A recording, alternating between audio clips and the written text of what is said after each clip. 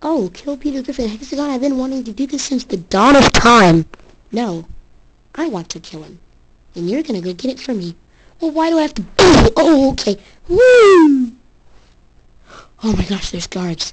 Uh, what should I do to them? Um, oh, I have an idea. Hey, Steve, come here. Oh. Huh, now that he's gone. Wait, another gu- There. Now that he's gone, I, I think... Hey, what's up, buddy old pal? Oh, I have him back. Now what do you want to do? Oh, it's you. Yes, I'm taking over the camp, and... Oh.